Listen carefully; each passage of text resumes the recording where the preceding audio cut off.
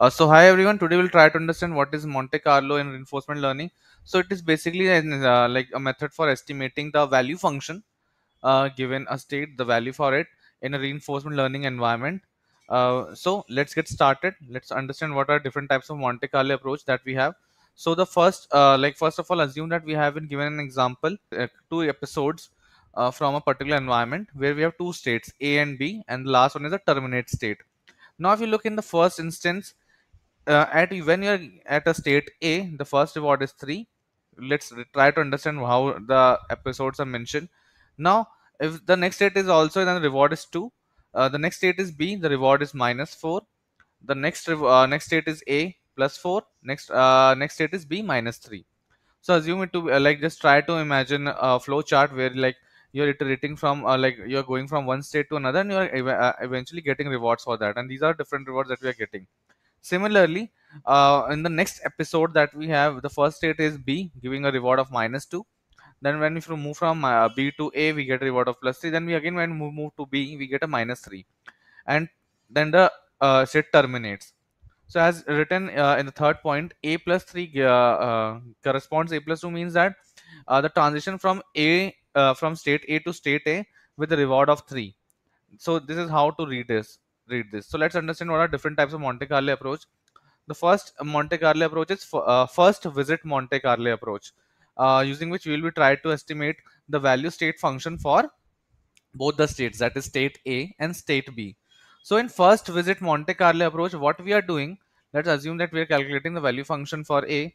So once uh, uh, for when once we uh, encounter the state a in the episode in both the episodes we will be considering all the rewards from that points onward. So for example in the first example as you can see that the first state is a itself. So the value function that uh, we would be uh, calculating is we will be first uh, summing up all the rewards we are getting after uh, encountering state a. Similarly uh, in the second example we will again figure out where state a is mentioned for the first time and then consider all the rewards. We will be summing all these rewards and then taking an average.